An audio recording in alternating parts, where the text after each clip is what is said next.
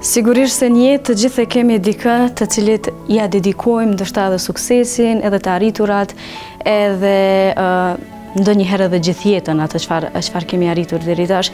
E unë sot, përmes kësaj rubrike, dua t'i them faleminderit një njeriu, i cili m'ka qëndruar Gjatë gjithë jetës afër, duke më dhënë mbështetje të madhe dhe duke më ndihmuar jashtëzakonisht shumë edhe atëherë kur kam besuar se nuk mund t'ia dal. Dua t'i them shumë faleminderit babit tim, i cili kohëve të fundit e ka kaluar një sfidë jashtëzakonisht shumë të madhe.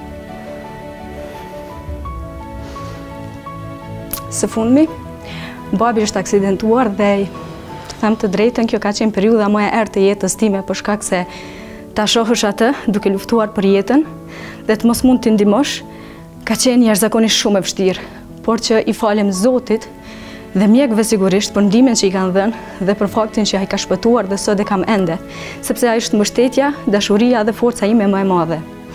I them faleminderit për gjithë periudhën e jetës që ai ka punuar jashtëzakonisht shumë. Babi nuk është ndalë asnjëherë.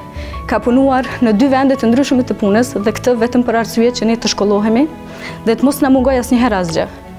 Unë nuk kam pasur nevojë gjatë kohës time të studimeve të punoj, të investoj në vetveten, por jam obliguar të them në një form të investoj vetëm në në edukim, në shkollim, sepse për gjithë të tjera është marrë babi. Ka qenë diku para dhjetë viteve kur ai është diagnostikuar me një sëmundje dhe mjekët sigurisht se i kanë rekomanduar që të mos punojë shumë, por që ai e ka bërë, e ka bërë përsëri në mënyrë që ne t'ia dalim dhe sot të jemi këtu ku jemi. Kështu që një falënderim jashtëzakonisht shumë i madh për një njeri që më ka dhënë gjithçka që kam dhe për një njeri që është forca mbështetja ime më e madhe.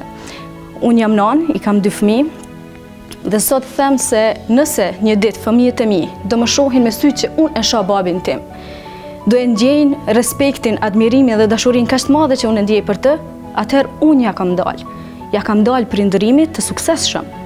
Ndërsa në anën tjetër gjithmonë them se nëse jetoj tri jetë, asnjëherë nuk do të arrij t'ia dal hakut së babit, të punës, përkushtimit dhe dashurisë së tij. Faleminderit për gjithçka. Faleminderit për mundin dhe dashurinë tënde të paça gjithmonë. Në anën tjetër po du me thonë edhe diçka tjetër se të gjithë më njohin si si një grua feministe për shkak se i mbështes shumë gratë.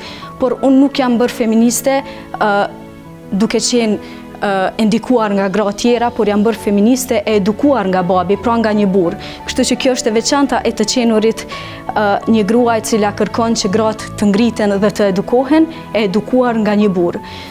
Faliminderit jashtëzakonisht shumë dhe si gjithmonë them se unë do të jem gjithmonë aty ku ti ke nevojë për mua, ashtu siç ishe gjithmonë atëherë kur edhe krejt bota ishte kundër meje.